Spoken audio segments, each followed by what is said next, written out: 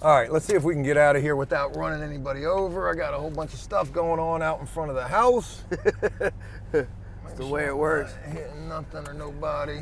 I was talking. I hollered at him today. He said, I said, "Hey man, y'all, what y'all doing today?" I said, "Yeah, yeah, y'all pouring concrete or y'all just making the form?" He said, "Oh, you know something? Go grab your float." I said, "No sir, no Oh, sir. No, them days are over for me." You talking about the guys out here? Yeah, he said, "Go grab your float. Let's get it on." I'm like, "Ah, It's getting ready to rain, so I know they're not getting ready to pour no, nothing. no, they're not pouring today. They're just forming up today." All right. So it's Jellico and I again today. Jellico has been uh, really helpful and been doing just a lot in terms of helping After Prison Show and has been a major asset in everything that we've been doing as of late. And it's because of Jellico that we're getting ready to go do something really exciting today as well. And that's getting ready to go meet a new guy. Yeah, new guy, man. Uh, I've talked to him since the day he's got out. Uh, there's a bunch of people that I talked to on their way out. Um, some people that I talked to while incarcerated, I, I, I guaranteed them if they got up with me that I would help them in any way, shape, or form. Um, this is not just an after prison show thing. This is just this is a Jellico thing. I help people who come to my city in particular because I know the resources that are available. Anywhere from food stamps to Medicaid. You know, this guy's getting his teeth worked on, everything, man. He's doing he's using all his resources to the max, man. This is this is a pretty awesome guy here. Well, let's talk about who this guy is. His nickname is what, Jew Man? Jew man, J U M A N. And what do you know anything about like why he has the nickname Jew Man? I'm not really sure. Not really sure. Well, this guy's got a very interesting story nonetheless. And the first thing to mention about this guy is the amount of time that he served in prison. Yes. How long did he do? He did 31 years. If I'm not exact the exact number, but I know it's over 31 years. 31 years. I mean, can you imagine that? Being in prison Wow. for over 30 years is just, it's a long time to be in prison. He's been locked up since what, like the 80s? Yes, I can't remember exactly when, but it, it it's been a long time, man. And he's a very humble individual, very calm and quiet. You know, a lot of people who've done time. You know what I'm saying? They don't they don't want no problems. They're just quiet. They're straight and to the point. You know what I'm saying? It, your word is gold. If you say something's going to happen, you know what I'm saying? That's going to happen. And I I met him I met him through a small little hustle when he when I met him in the pod. He, he was in the last dorm before I went home. So, So what, uh, oh, this last time that you were locked up? yes, this last time. So yeah. you met him at St. Bride's? yes, sir. And you know what? What's his backstory? I mean, obviously, with the fact that he served 30 years in prison or more than 30 years, you know what? Why did he go to prison? Do you know that? robbery. Uh, he got it was robbery as a youngin. You know, a lot of people will catch some robbery charges. You know, basically when they're they're still babies. You know what I'm saying? So what happens is they get they get smoked as a youngin, and they have to do these massive amount of these massive amount of years. Just you know, I call them simple mistakes, but robbery is robbery, and you know, so they got to give you a certain amount of time and. Though I, whether I think it's right or wrong or not, I mean it's That's just what happens. just, that's what happens. Well, even more interesting to add to this, the fact that this man served over 30 years in prison. His nickname is Jew Man. This is a guy that I don't know. Jellico vouches for this guy, so the only thing that I really know about this guy is the video that you sent me of him. I've seen his personality and his persona. He seems like a very interesting individual. But to add to that interest is the fact of how long has this guy been released now? Just I'm, I want to say maybe 60 days. He's been re- released after 30 years for only two months. Yeah. And talk about where he's working. He's working. He's working for. But yeah, he got on through through a family member. He he he get he goes all the way from Virginia Beach all the way to Portsmouth. Doesn't drive, doesn't have transportation. nah.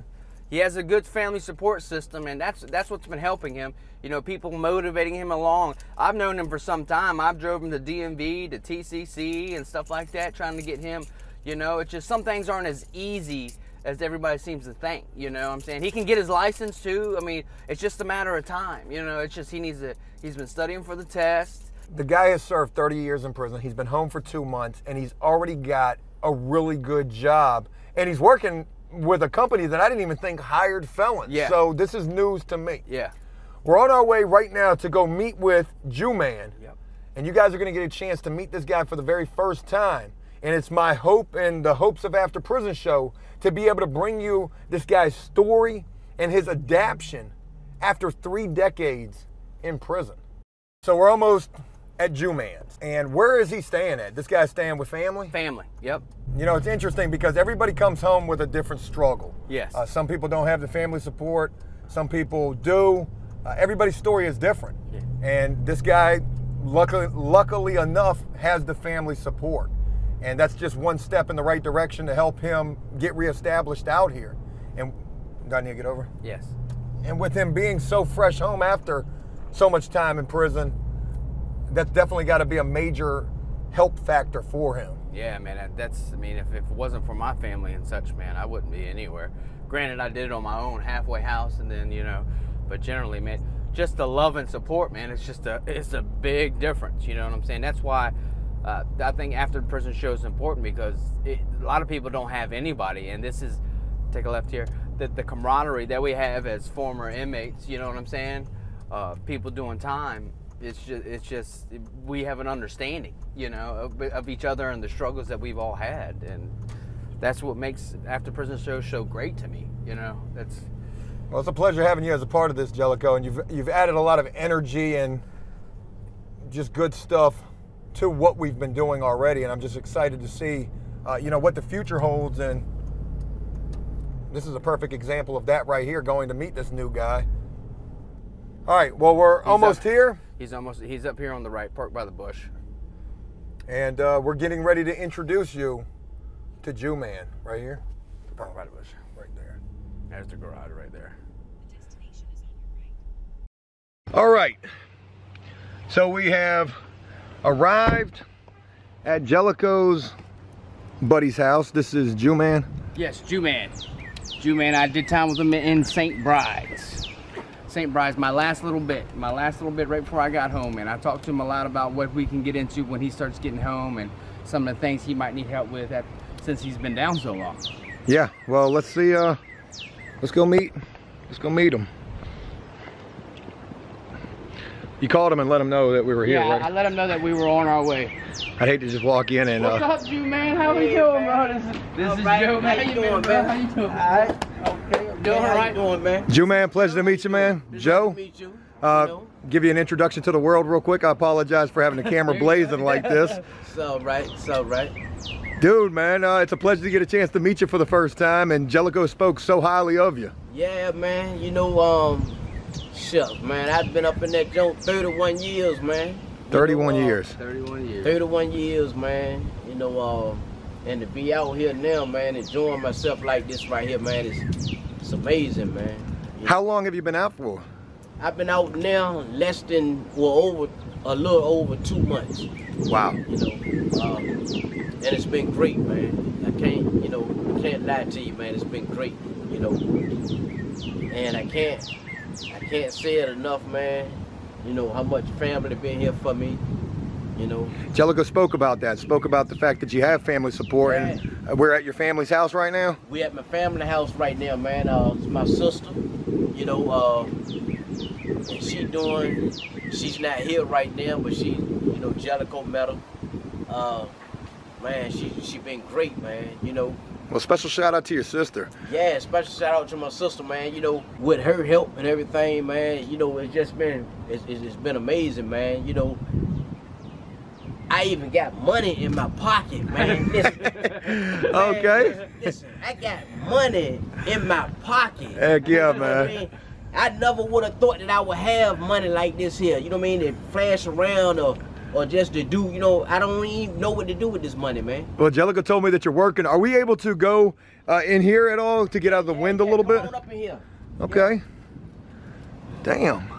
Yeah, come on up in here, man. All right. Your sister's got the spot hooked up for you, man. You Yeah, got. this, this just, you know, this just the garage, man. You know, uh, she got, you know, her her daughter got kids, man, and they, you know, this is where they come to play at. Heck yeah. You know, uh, I come out here at times. Yeah, this is where we hang out, man. When Yeah, I come, when I is where I come come- over, this is when I come over. This is where we come to hang out, man. That's right, Me and my know. girl came over the other day. We were hanging out here with him and his sister, just hanging out. You know, Yeah. Heck nice yeah. vibe. Nice That's vibe. right. Let me get out of the fan. Well, the first thing that I want to say, Jew Man, is I greatly appreciate, and that's your that's your nickname, right? That's my nickname. My real name is William. Well, William, Jew Man, it's a real pleasure to get a chance to speak with you Right. and get a chance to meet you. Okay. And, and one thing that I got to say, I mean, this is just an immediate first impression of you, Right. you have done 31 years in prison. 31 years, man. And to see you out here like with your head held high and to be just so positive and with so much energy, I know that's got to be an amazing feeling after being locked Yeah, up for so yeah, long. It is, you know, and like I said, man, you know, uh, I've seen guys that have done less time than I have. That was, you know, that was messed up in the head mentally, man, because they didn't have what I have, which is family supporting me, man. You know, it, family support is, man, that's that's the world doing time. To a guy doing time, to have family support, man, that's that mean the world, man. You know, and I wouldn't be like I am, you know, after 31 years without them. You know, It's a real blessing to have it's that support. It's a real blessing, man. It's a real blessing to have family behind you, man. Look, Jellico has told me a little bit of you. Uh, with the fact that you've served so much time in prison, you've only been out for a short period of time, Right. and you're out here working already. Talk a little bit about that real quick. Right. I'm working uh, with this contractor through. Um, and you know it ain't much, but hey, it's ten dollars an hour, man. All I'm doing all day long is throwing in light bulbs and you know, ex- I mean, exchanging light bulbs, man. It's beautiful, man. You know, Right. I look forward to even you know to going to work. You know, five days a week, man. You know, it's, it's, it's beautiful, man. You know, like I say, I I got money, plenty of money in my pocket. You know what I mean? Uh, I don't even look. You know, I don't even think about going out here doing any kind of wrong. You know, because there's so much. It's man, it's, it, it's so much out here right now for me to have, man. And I'm just trying to take advantage of it. You know. You know, when I think about somebody who served the amount of time that you have, the attitude that you have is not what comes to mind at all. Right. It is positivity. It, it is Right. energetic. Just getting this chance to meet you. That's right. You know, and you speak about family being a big reason uh, why you're able to be as positive and energetic as you are. Right. You know, so it's a really interesting thing for me, and I, I got to thank you especially for allowing me to get the opportunity to meet you and for your willingness to allow us to talk to you on camera Right. and be willing to share your story. I know that this was something that Jellico had spoken to you about at the, in the past, and this is something that you have no experience with. But you know, are you okay with all of this? Is this okay? uh, man, it's it's okay, you know, because I feel like people like myself, our story need to be put out there, or people need to really actually see what's, you know, what's real, man, what's what's actually going on. You know, um, you read books, or you may even see a, a a story on the news. You know what I mean? Real live TV, the news. But it's nothing like actually being up close and personal like this with somebody that done done time in prison, man, and don't mind sharing their story. You know, I want people to know what I went through in prison. You know, because it's a lot to be learned there. You know, good and bad. You know, um, that's what I feel like we put on earth for is to go through experiences in life, man. And I, I've been through it all. You know, would you be willing to share a little bit of what caused you to do the 31 years? Yeah, yeah. I wouldn't, I wouldn't mind at all, man. Um, you know, just hanging out. You know, me, my brother, and a friend, man. You know, just running around trying to get. During that time, the '80s, you know, it was all about the girls.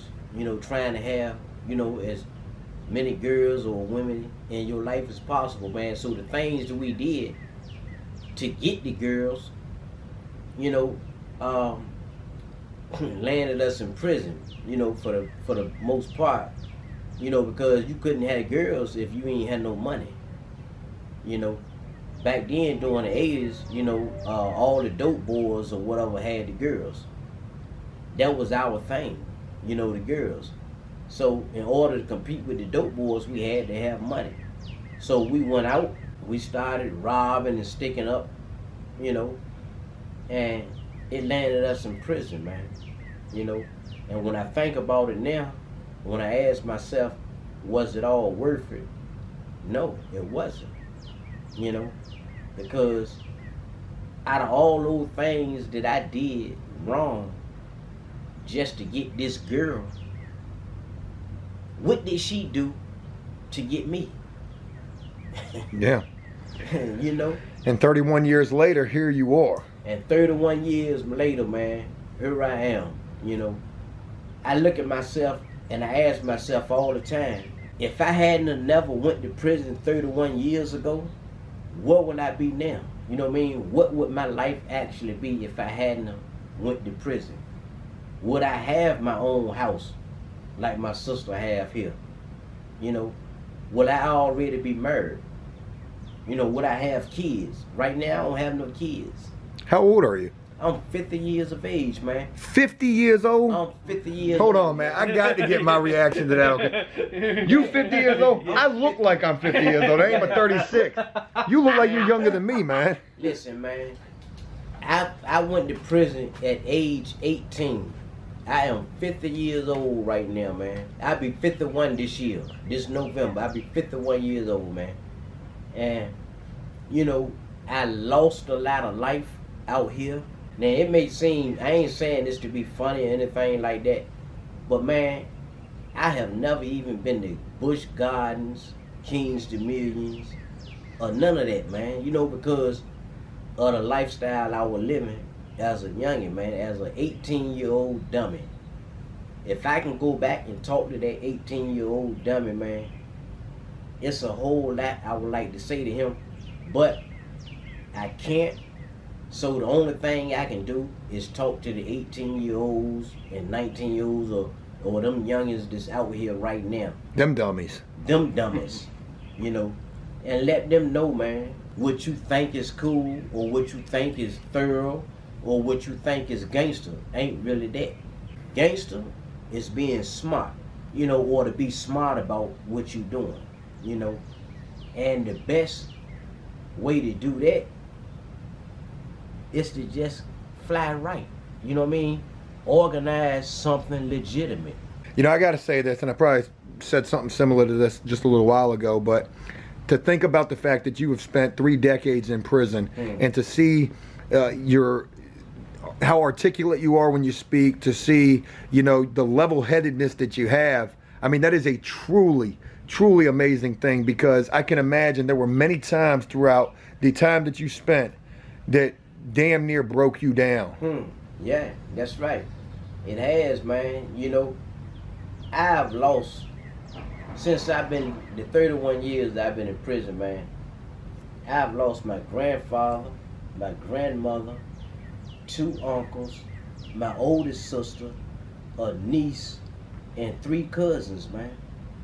You know, and in fact, right before I got out, a week before I got out, I lost a third uncle who was man who was looking forward to me coming out here. You know uh, i lost him a week before i got out.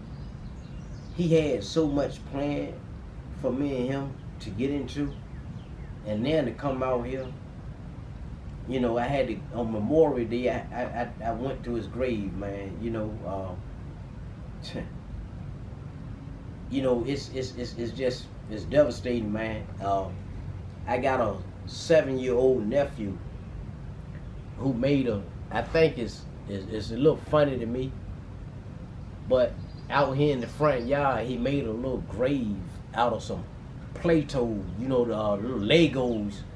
He made a little grave, a little play grave, and said that that is where my uncle is buried at right there and he don't allow nobody to walk on that that little grass site right there, whatever. It's right here in front of the uh, uh, house, man. You know, and it's funny to me, you know, but I like seeing him, you know, in that mode right there, man, because you know, it shows that, you know, he is learning a little bit about life right now on a serious note. He ain't just one of them little seven year olds that's that's gonna end up out here in the street doing what I did. To spend 31 years in prison, man. You know, so like I say, without family support, man, I don't know where I would be. You know, I didn't have to go to a halfway house. I have to do that, man. I came straight home to all this love, man. And it's beautiful. Again, I want to thank you for allowing us to come over here and to meet you, to also introduce you to After Prison Show. And from what Jellico has told me, I know that there is a lot Mm. to not only your story, but also to all of the time that you have served and everything that's going on with you now. Right. Now that you're back out here into the free world after so long being incarcerated with such a positive and energetic outlook. And I'm really looking forward to being able to share that. Yeah, yeah, yeah. I'm, I'm man. I'm looking forward to sharing it. You know, um, because like I said, you know, I've learned a lot. I've been through a lot, and I feel like you know, it's a lot of people out here, man. That can benefit from my story, from the things that I've been through, man. I am. I'm not gonna hold anything back. You know, um, I am who I am. You know, um, like I say, man, it's just man, I, I got to keep throwing family out there because without family, I probably would have been on medication or something like that, you know, throughout them 31 years, man. You know, the things that I've, I've seen, heard, and done.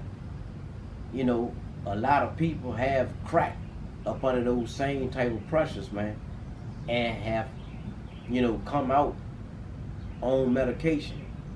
I don't even take Tylenol.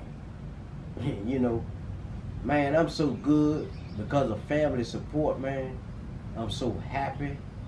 And family then showed me that the world is the limit. You know, all I got to do is get off my ass and go get it.